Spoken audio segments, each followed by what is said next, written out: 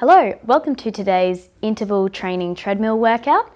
Today we're going to be combining cardio and strength training by incorporating some weighted upper and lower body exercises.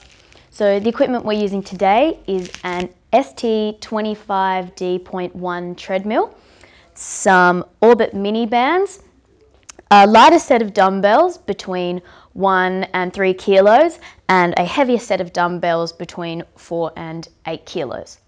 So the intervals we're doing today uh, will be a one minute of medium pace on the treadmill, followed by a 30 second sprint, and then we're gonna do a one minute of strength training. We'll do that for six rounds. It's gonna be about 15 minutes long. The timer will be displayed on the screen with a buzzer sound as well, so you don't need to set up any timers. You can just follow along.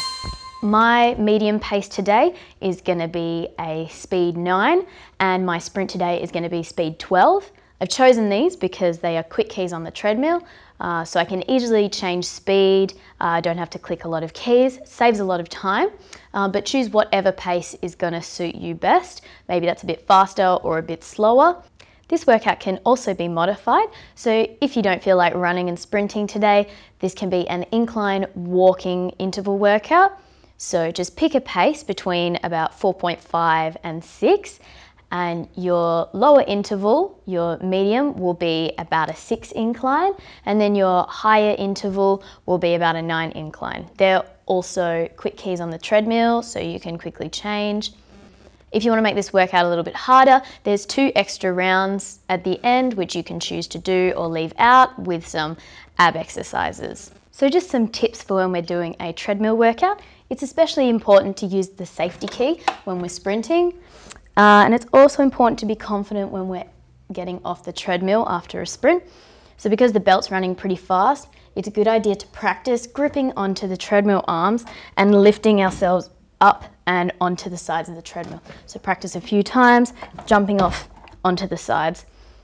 Uh, it's also really important to exit off the side of the treadmill, We're not exiting off the back because the belt might still be running.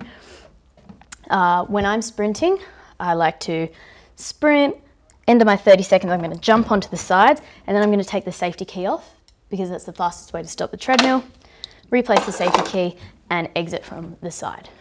Uh, if you're not comfortable doing that, take your time to exit the treadmill. You can pause the video and start the timer again. No big deal. We want you to be safe. The other thing that's important, as with any workout, is to have some good music playing. So today I'll be listening to the Orbit Fitness treadmill workout playlist on Spotify.